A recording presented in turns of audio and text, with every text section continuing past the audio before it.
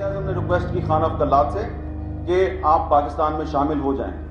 और खान अफ कल्लाद जो है, उन्होंने कहा कि हम अपनी असम्बली में डिस्कशन करेंगे और कंसेंसिस के बाद हम कोई ऐलान करेंगे।